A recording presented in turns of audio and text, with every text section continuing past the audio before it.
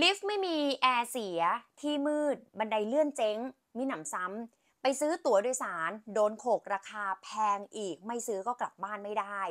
นี่คือปัญหานะคะที่เกิดขึ้นหลังจากที่สสแบงค์สุพนัทของพรรคก้าวไกล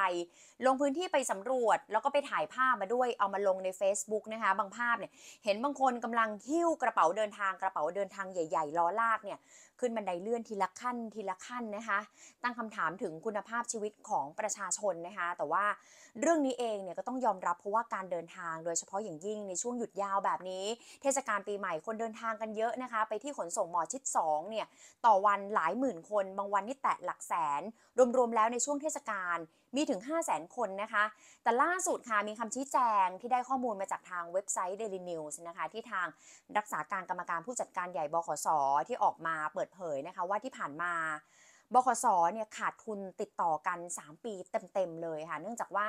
ที่ผ่านมาความนิยมในการเดินทางขนส่งสาธารณะ ลดน้อยลงไปด้วย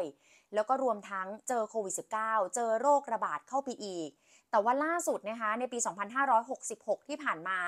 ผลประกอบการดีขึ้นค่ะกว่า 1,000 ล้านบาทนะคะ เมื่อเทียบกับปี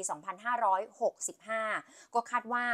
น่าจะมีการปรับปรุงนะคะเพื่อเป็นการอำนวยความสะดวกให้กับพี่น้องประชาชนมากยิ่งขึ้นด้วยค่ะ ส่วนเรื่องที่บันไดเลื่อนเจ๊งเนี่ยคือมี 5 ตัวแล้วเจ๊ง5 ตัวเลยค่ะ บอกว่าติดตั้งมานาน 26 ปีแล้วนะคะ อะไรหาไม่ได้ก็อยู่ระหว่างการซ่อมแซมอยู่นะคะ ก็คาดว่า